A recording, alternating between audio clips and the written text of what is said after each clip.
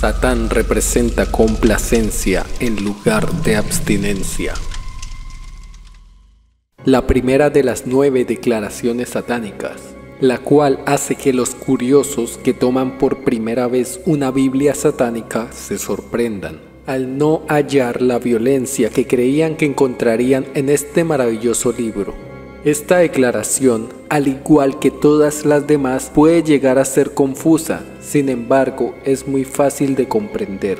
Satán representa complacencia en lugar de abstinencia. No es más que una frase de filosofía vitalista y existencialista una de las tantas que demuestran la admiración que mantiene la Iglesia de Satán por la filosofía de autores como Nietzsche, uno de los filósofos más importantes que ha escrito sobre estos temas. Por ejemplo, Nietzsche, quien a partir del concepto del eterno retorno de los estoicistas nos dejó uno de sus más conocidos pensamientos, el cual invita a vivir la vida pensando en que eternamente volveremos a vivirla.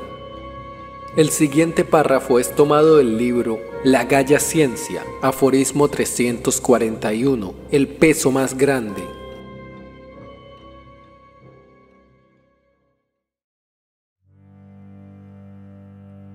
¿Cómo te sentirías si un día o una noche un demonio se deslizara furtivamente en la más solitaria de tus soledades y te dijera, esta vida tal como la estás viviendo ahora y tal como la has vivido hasta ese momento, deberás vivirla otra vez y aún innumerables veces. Y no habrá en ella nunca nada nuevo, sino que cada dolor, cada placer, cada pensamiento y cada suspiro y todo lo indeciblemente pequeño y grande de tu vida deberá volver a ti. Y todo en el mismo orden y la misma secuencia. E incluso también esta araña y esta luz de luna entre los árboles. E incluso también este instante y yo mismo, el eterno reloj de arena de la existencia, se invertirá siempre de nuevo y tú con él, pequeña partícula de polvo. En conclusión, esta primera declaración satánica invita a hacer aquellas actividades que muchas veces nos privamos de realizar por distintos motivos. Por ejemplo, por el que dirán, disfruta ahora que estás vivo. Los satanistas saben que todo termina con la muerte y no hay un cielo o un infierno en donde las almas pasarán la eternidad. La vida es aquí y ahora. Toma esos caminos que tanto deseas recorrer. Lee ese libro que te causa tanta curiosidad. Reúnete a disfrutar de la compañía de otras personas. O en esos momentos que prefieres estar solo, hazlo y comparte tiempo contigo. Medita cuando quieras meditar. Practica ese deporte que tanto has querido hacer. Vive la vida pensando en que lo que haces será lo que volverás a vivir una y otra vez. Por otra parte, transportándonos a la magia, tenemos a Alistair Crowley, uno de los ocultistas más conocidos de la historia, miembro de la sociedad oculta conocida como la Orden Hermética de la Golden Dawn, quien desarrolló las ideas de Telema, incluso hasta convertirlo en un movimiento religioso, místico y filosófico. Telema es una palabra griega que quiere decir voluntad o intención. En 1904, mientras viajaba a Egipto con su esposa, Crowley se involucró inextricablemente en una serie de eventos que, según él, inauguraron una nueva era de la evolución humana. Estos culminaron en abril cuando Crowley entró en un estado de trance y escribió los tres capítulos de 220 versos que llegaron a llamarse el libro de la ley, entre otras cosas, este libro declara, la palabra de la ley es telema y haz lo que quieras. Esa es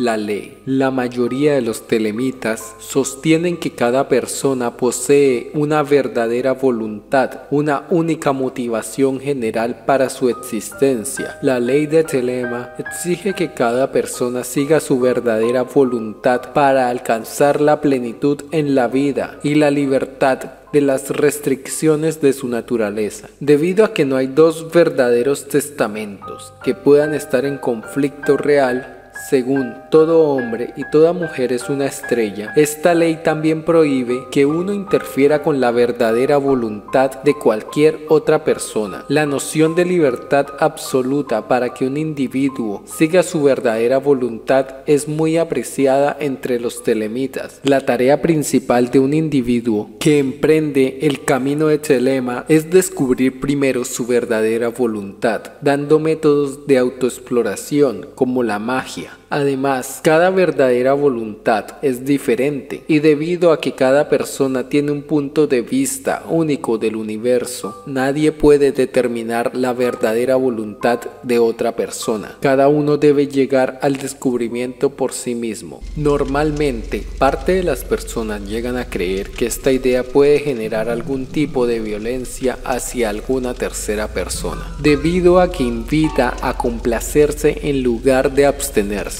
Sin embargo, todas las declaraciones satánicas deben ser comprendidas como están escritas. En el caso de esta, nunca invita a causar algún tipo de agresión a nadie, ya que el satanista entiende que se debe complacer, al igual que las demás personas deben hacerlo. Es decir, si el satanista desea tener algún tipo de satisfacción acompañado de otras personas, esto se puede hacer si las otras personas también se están complaciendo. En el caso de que el satanista obligue a que los demás realicen algo de manera involuntaria, es un acto totalmente en contra de los principios y valores de los satanistas. Siempre que el satanista comparte con alguien, debe tener muy presente que esta persona tiene su propia vida y su propia voluntad. Las cosas que le gusta hacer al satanista no tienen que obligatoriamente gustarle a los demás. El mundo está lleno de diversidad y eso es lo que lo hace interesante. A diferencia de otras religiones, el satanista conoce claramente estos conceptos y mantiene muy firme la idea de que las demás personas no tienen por qué estar obligadas a pensar como él. El satanismo no se hizo para imponer y tampoco para que te impongan.